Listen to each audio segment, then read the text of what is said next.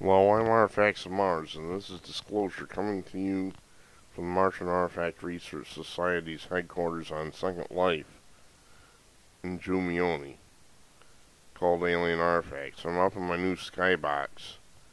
Here we have a simple artifact. Uh, this is Spirit Sol 472. This thing is so blatantly obvious, I don't know how anybody can miss it. Uh, it looks relatively like a uh, rectangular object, although there may be a vein that actually sticks out. Some of the photos, it looks like a vein that's sticking out. This object is sitting on a post, which uh, goes through an apparent slot down here, and then we have a square base.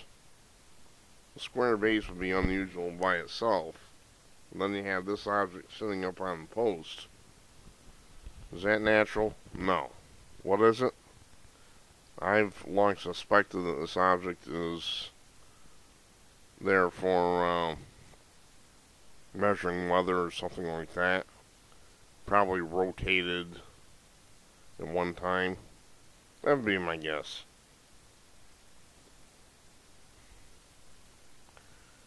Alright, there really isn't that much to this one. But I want to take a look at some other stuff that's in the photo. Mainly just this in this crack. It may be tough to see. There's a pattern of what are essentially plants if we can get close enough. It seems to be um, a broadleaf, multi-lobed plant growing in the cracks there.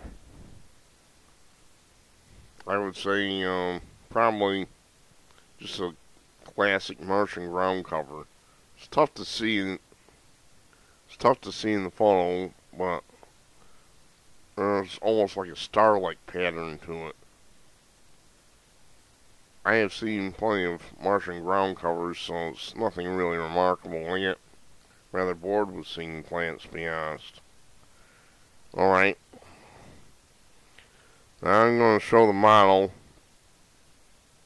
And I should have time after this, so what I'll do is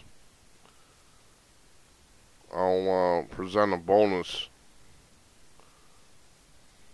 photo. Here we go.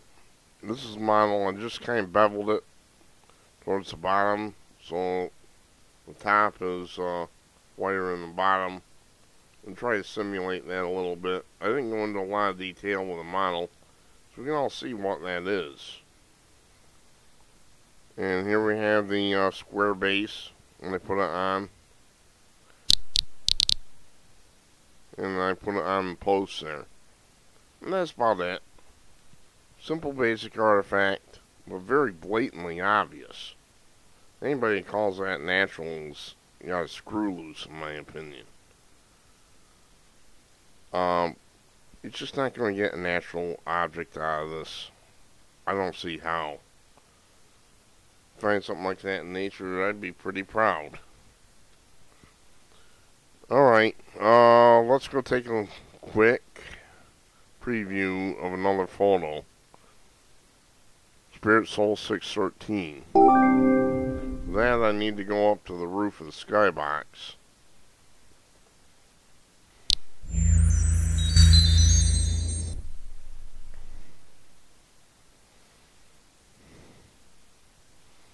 I'm still studying this.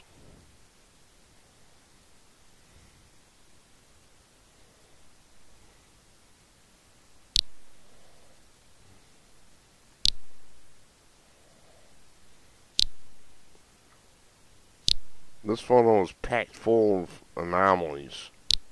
It's an amazing photo. But here's the biggest one. This large structure up on the hill. There's others too. I'm still studying this. I'm, uh, I'm not going to release it yet, but this is just a preview. Looking at this photo critically, I'd have to say Probably looking at some sort of an industrial center. And we have to remember this is past in all likelihood. So it's all, you know, much of it is all broken down.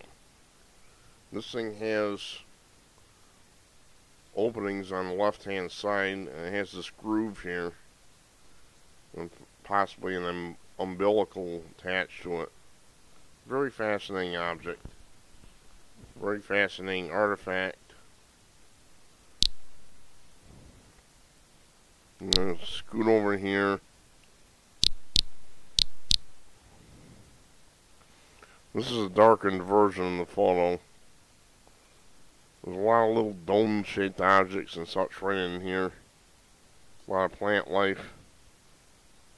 I'm not uh, going to release this, like I said, until I've done some pretty serious study on it. Because that just wouldn't be fair, but this is just preview. There you have it, folks. We need to get some action. We need to demand the truth.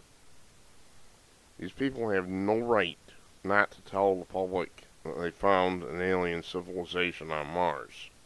They have no right not to tell the public that there are plants on that planet. They have no right withhold this type of information from us. We have to demand the truth right now. I'm Artifacts of Mars. Thank you for your kind attention.